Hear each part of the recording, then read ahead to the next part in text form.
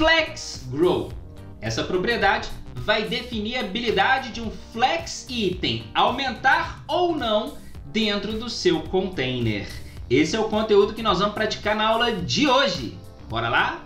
Então, pessoal, estamos aqui com o arquivo da aula uh, 8, que é uma cópia de onde nós paramos na aula 7. E a gente vai entender como funciona a propriedade Flex Grow, que vai aplicar a habilidade do item. Agora a gente passa para propriedades de itens, a gente estava trabalhando só com container, né? É, vai dar a habilidade do item aumentar ou não em relação ao container. Esse é o conteúdo da aula de hoje, hein? Vamos praticar, vamos ver isso daí. Para a gente entender melhor, nós vamos ter que fazer uma modificação no nosso código aqui. Ó. Vou deixar primeiro aqui só três é, itens, ok? E nós vamos ter que tirar, obviamente, a propriedade if que define o tamanho do item. Porque se eu deixar o if aqui, ele não vai mudar de tamanho, ele vai respeitar esse tamanho que ele está sendo definido aqui, ok? Então eu vou tirar esse if aqui, salvando, atualizando, a gente tem esse resultado aqui até então. Por quê? Porque a gente tem no nosso container Justify Content Center, certo? É por isso que eles estão centralizados e aqui em Align Content Space Between, Align Content no eixo, no eixo cruzado, né? No eixo secundário com Space Between. Então a gente tem esse resultado aqui, como eu não é, realizei a quebra de linha, né? Como não tem componentes suficientes para quebrar a linha, a gente não está vendo aqui o resultado é, do, é, do, do Align Content, beleza? Bom, é, agora a gente pode entender como é que funciona o Flex Grow. Por padrão, os elementos, os flex item, tem flex grow igual a zero, ou seja, eles não vão ter tamanho definido pelo seu container. Eles vão ter o tamanho original do seu, é, do seu conteúdo, de acordo com o seu conteúdo. E quando eu digo isso, é se, esse, se o conteúdo de um, de, um, de um item que for menor, obviamente que ele vai ser menor. Se o conteúdo for maior, ele vai ser maior. Se a gente fizer isso na prática, que nós vamos ver, ó tira aqui, deixa só o 1 aqui salvando, o primeiro aqui vai ser pequenininho, tá vendo? Porque ele está se ajustando ao seu conteúdo, ok? Mas o que, que acontece se a gente utilizar o Flex Grow? Então, é um componente Flex Item, e no caso aqui, que eu, eu quero cada um com Flex Grow diferente, então o que eu vou fazer é criar uma classe aqui de formatação para cada Flex Grow, onde eu vou chamar a classe, por exemplo, ó, tam1, onde eu vou colocar, eu vou começar com tam 0, tá? 0 é o padrão, ok? Mas vamos começar com ele aqui. Eu vou colocar aqui, ó, flex grow 0, copiar essa classe aqui, aqui uma, duas, três vezes. Eu vou mudar para tam1 com flex grow 1, tam2 com flex grow 2 e tam3 com flex grow 3 para a gente entender.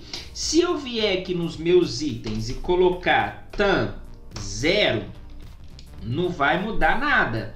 Por que, que não vai mudar nada? Só para a gente entender que o flex grow zero é o padrão, ou seja, os elementos não vão ser redimensionados de acordo com o seu container. Aumentou aqui porque eu voltei o texto, vocês notaram, né? Mas eles continuam do mesmo tamanho aqui. Agora, se a gente especificar flex grow 1 aqui, ó, tamanho 1 para esse camarada aqui, ó, para o primeiro camarada. Atualiza, notem que ele tem um tamanho maior do que os outros contém os outros elementos. Por que, que ele tem um tamanho maior? Porque foi o único que eu apliquei o Flex Grow 1. Se eu aplicar Flex Grow em todos os elementos, aqui ó, tam 1, tam 1 e tam 1, esses elementos automaticamente vão ser redimensionados para ocupar toda a área do seu container. É o que aconteceu com o primeiro elemento ali. Ele aumentou para o máximo que ele pôde. Ele não aumentou mais porque ele tinha que deixar espaço ali para os outros dois itens. Como agora eu tenho todos com Flex Grow 1, todos vão ocupar o mesmo tamanho, porque eu estou distribuindo o espaço do container igualmente entre eles. Mas se eu aplicar, por exemplo, para esse camarada aqui, para esse último aqui, ó, vou falar assim, ó, ó flex grow 2 Isso significa que eu estou cedendo um espaço maior para esse elemento. E olha o que, que acontece. Atualiza. Notem que o 3 ele tem um espaço maior do que os outros elementos. Porque eu forcei isso. Eu disse para esse, esse camarada aqui, ó, ó, você vai ter tamanho 2, você vai ter tamanho 1 um, e você vai ter tamanho 1. Um. Então, que tem tamanho 2, ele vai ser um pouco maior. E se eu disser que ele vai ter tamanho 3, ele vai ser ainda maior. Quanto maior o valor de flex grow, mais espaço eu estou dando nesse container para esse elemento. Então, se eu aplicar aqui, ó, flex grow é, 2, 1, 2 e 3, ao atualizar, esse aqui vai ser menor, esse aqui vai ser um pouco maior e esse aqui vai ser um pouco maior. Olha lá, tá vendo? A distribuição ficou menor, médio e maior, certo? Então é assim que funciona a propriedade flex grow. Agora um detalhe importante. Vocês já devem ter percebido que justify content não tem é, nenhuma ação quando a gente utiliza o flex grow. Por quê? Ah, não vai fazer diferença nenhuma ter, ter Justify Content no container ou não. Por que não? Porque quando a gente aplica Flex Grow em todos os elementos, ou em um só elemento daquela linha, ele automaticamente vai ocupar todo o espaço necessário daquele container. Então não justifica nenhum alinhamento ali, já que os elementos vão ocupar a linha inteira. Beleza? Então, um detalhe aí para a gente é, atentar quando estiver utilizando aí o, o CSS. Eu vou deixar o Justify Content aqui porque nós vamos precisar em outras aulas aqui, tá certo? Mas atentem para isso. Tem flex grow no item, o justify content ali não vai funcionar para aquele container. E é isso. O que, que a gente precisa saber sobre flex grow? É uma propriedade de item, ou seja, ele não vai ser aplicado no container. Vamos voltar aqui, por exemplo, ó. ele não é aplicado no container, ele é aplicado no item.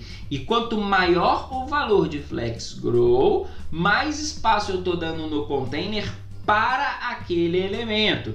Lembrando que o padrão de flex grow é zero, ou seja, quando ele for zero, o elemento não é redimensionado de acordo com o container, ele é redimensionado de acordo com o seu conteúdo. Se ele tiver um conteúdo grande, ele fica grande, se ele tiver um conteúdo pequeno, ele fica pequeno. Tá bom? Esse foi o conteúdo da aula de hoje.